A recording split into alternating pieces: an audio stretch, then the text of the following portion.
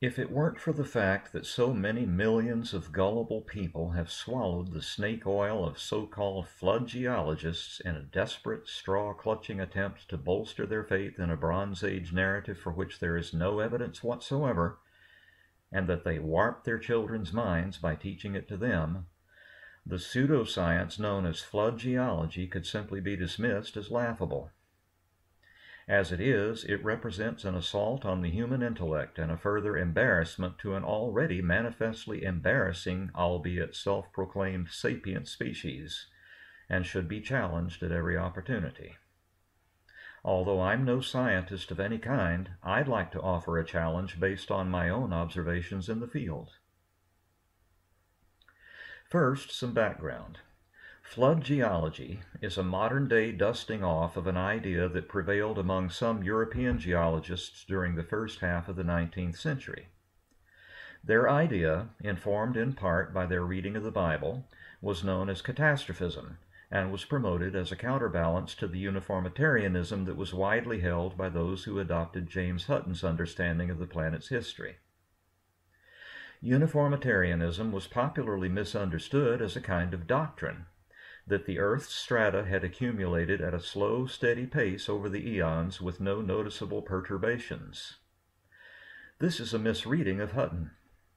Such angular unconformities as the one exposed at Siccar Point, the observation of which had a profound impact on Hutton's thinking, put the lie to the popular misunderstanding of what uniformitarianism means.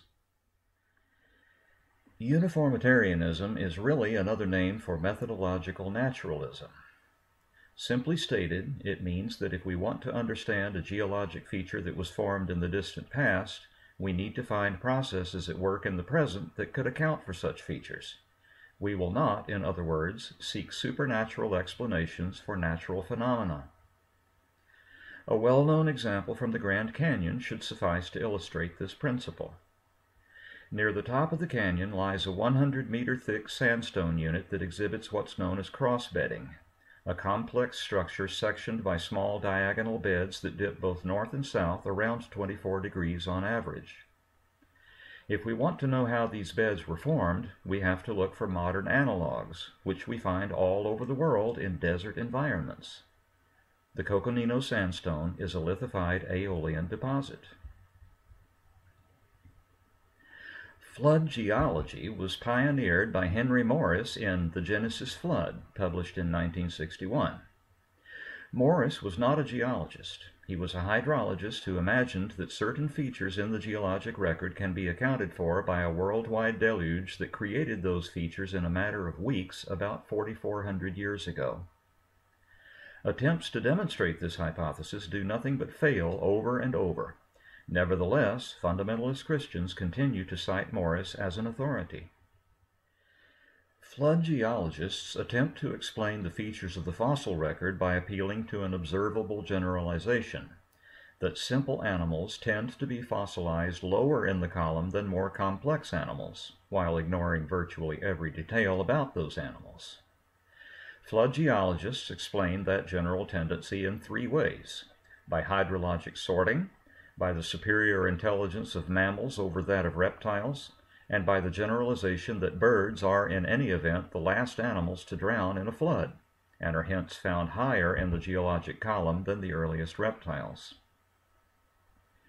But the notions of flood geologists cannot be sustained if one actually looks at the rocks, which said apologists generally have not done.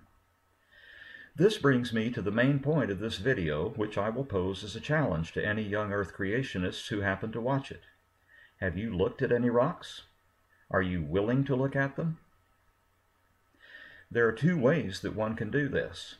One can visit museums and study their collections, or one can go out into the field and collect, making careful observations about the circumstances in which fossils are found. It's not a bad idea to do both. Creationists, have you done your homework?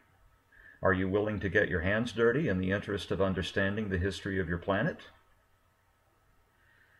I want to talk a little about crinoids, an order of echinoderms that first appeared in the fossil record during the Ordovician period. There are many extant crinoid species, but they don't look much like the older forms. They don't build long stems, for instance. The fossils I'll be showing you came from shallow marine deposits that were laid down when large regions of North America were inundated by a shallow intercontinental sea. I want to show you three small collections of fossilized crinoid parts ranging in age from the lower Devonian period, around 400 million years ago, to the upper Pennsylvanian, around 300 million years ago. These fossils were all collected from Oklahoma and Arkansas within an area defined by a 150 mile radius. The first collection, an assortment of Devonian period crinoid stems, comes from a site in the Arbuckle Fold Belt in Oklahoma. If you look carefully at the texture of the stems, you'll notice that all the features of their columnals are more or less flush with the diameter of the stem. In other words, the stems exhibit very little surface relief. They're all circular in section, and most include a hollow five-pointed asterisk at the center.